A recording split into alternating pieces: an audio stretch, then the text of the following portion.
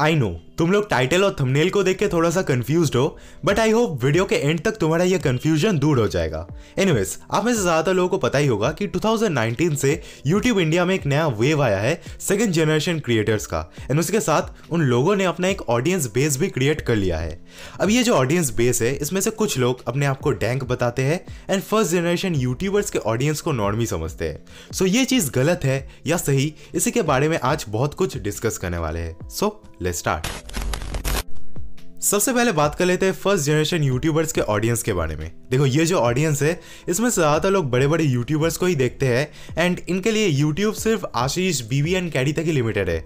Now don't get me wrong but first generation YouTubers का audience base कुछ ज़्यादा ही टॉक्सिक है सेकेंड जनरेशन वालों से। फ़र्स्ट जनरेशन यूट्यूबर्स के ऑडियंस पूरे इंडिया में फैली हुई है एंड रीच भी बहुत ज़्यादा है। दैट्स वाई ज़्यादातर फ़र्स्ट जनरेशन यूट्यूबर्स के मिलियंस में सब्सक्राइबर्स है।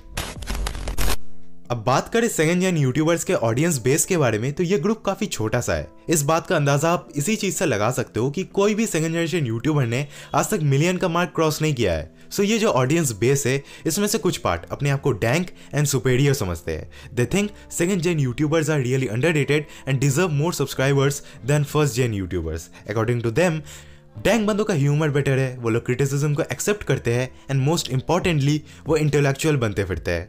सी ये बातें कहीं पर लिखी नहीं है। मैंने बस इन चीज़ों को लास्ट तीन महीने से ऑब्ज़र्व किया है। तो अगर मैंने कुछ गलत बोल दिया हो तो तुम लोग मुझे कमेंट्स में ज़रूर बता सकते हो। ओके okay, सब आते वीडियो के मेन पार्ट पे। यहाँ मैं बताने वाला हूँ सेकंड जेन ऑडियंस के कुछ प्रॉब्लम्स के बारे में।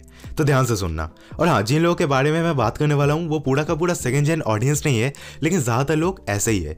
ओके सो सबसे पहला प्रॉब्लम यह है कि ज़्यादातर डैंक बंदे फ़र्स्ट जेन यूट्यूबर्स के फॉलोअर्स को नॉर्मी समझते हैं। फॉर एग्ज़ाम्पल अगर कोई कैरी मिनाटी देखता है तो वो नॉर्मी है। अगर कोई ट्रिगर इंसान देखता है तो वो बारह साल का बच्चा है। नहीं सीरियसली प्लीज़ स्टॉप दिस अगर तुम सोचते हो को तुम रिचू को देखते हो तो तुम सुपेरियर हो। अगर कोई कैरी को देखता है तो वो इन्फेरियर है। प्लीज़ ऐसा सोचना बंद कर दो। ऐसा नहीं होता, क्योंकि तुमको समझना पड़ेगा कि इंडिया में बहुत अलग अलग लेवल्स में ऑडियंस है। सबका टेस्ट अलग अलग होता है। तो तुम किसी को कोई चीज़ ठूस नहीं सकते कि, ले भाई टैंक रिशो देख, कैरी मत देख। चलो ठीक है, अगर कोई तुम्हारा बात मान भी लेता है और कैरी छोड़ के वो रिशो देखने लगता है, फिर भी उसको वो फनी नहीं लगेगा बिकॉज़ रिशु का सेंस ऑफ़ ह्यूमर बहुत अलग है। उसका हर जोक के पीछे कोई ना कोई कंटेक्ट छुपा होता है, जो बहुत लोगों को समझ में नहीं आएगा।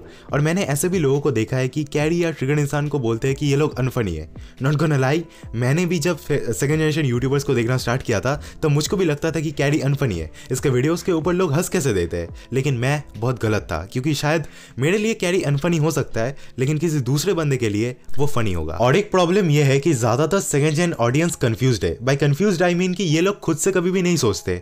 मैं एक एग्ज़ाम्पल देता हूँ। जब मैंने ट्रिगर इंसान के ऊपर ये वीडियो बनाया था, मुझे इंस्टाग्राम में बहुत लोगों ने बोला कि इसके ऊपर क्यों बना रहा है? ये नॉर्मी है अनफनी है बारह साल की ऑडियंस है रिएक्शन वीडियोस देख के हँसते हैं एटसेट्रा एटसेट्रा बट उसके दो तीन महीने बाद जब फिंग और कैप्टन इंडिया ने ट्रिगर इंसान के साथ कोलैब कर लिया तब वही सेम बंदे ट्रिगर इंसान को सपोर्ट करने लगे एंड कॉन्ग्रेचुलेट करने लगे फिंग को कि भाई बहुत बड़े यूट्यूबर के साथ तूने कोलैब कर लिया. की भी सीमा होती है। अब जो लास्ट प्रॉब्लम है वो यही है कि जब कोई सेकंड जन यूट्यूबर किसी बड़े यूट्यूबर के ऊपर वीडियो बनाता है क्रिटिसाइज करते हुए वो लोग उसको क्रिटिसिज्म की जगह हेट समझने लगते हैं। जैसे थगेश के केस में हुआ था। थगेश को बहुत हेट मिली थी। मैंने पहले भी कहा था टॉक्सिक फैंस हर जगह होते हैं। तुम लोग को यह समझना होगा कि जब कोई सेकंड जन यूट्यूबर किसी बड़े यूट्यूबर के ऊपर रोज बनाता है तो वो सिर्फ़ मज़ाक के लिए होता है। सच बोलूँ तो यह चीज़ मैंने भी बहुत लेट में सीखा। मैं भी पहले नहीं समझता था, लेकिन टाइम के बीतने पर ही इंसान सीखता है। अभी कुछ दिन पहले हु केयर्स ने कैरी को रोस्ट किया था तो बहुत लोग सोचने लगे कि वो कैरी को हेट करता है। लेकिन जब उसने कैरी के नए रैप को अप्रिशिएट किया तो वो लोग कन्फ्यूज़ हो गए। अकॉर्डिंग टू मी हम लोग को ये डैंक और नॉर्मी वाला चीज़ छोड़ देना चाहिए क्योंकि इससे कोई फ़र्क नहीं पड़ता। जिसको जो पसंद है वो देखेगा। और लोगों का टेस्ट भी धीरे धीरे डेवलप होगा। मैं भी कोई एक दिन में एजलॉड नहीं बन गया था। सो so, या yeah, अगर आपको ये वीडियो पसंद आई हो तो इस वीडियो को लाइक कमेंट शेयर सब कुछ कर देना। मेरे को इंस्टा ट्विटर फेसबुक हर जगह पे फॉलो कर देना। और मेरे चैनल को सब्सक्राइब करना मत भूलना। तो बस मिलते हैं नेक्स्ट वीडियो में। तब तक के लिए बाय इनसे ना होगा ये। इसमें मेहनत है। इनको बैठे बिठाए सब कुछ चाहिए टेबल पे। तेरा भाई सिद्धि साइन नहीं करता कॉन्ट्रैक्ट पेपर पे, बिना भी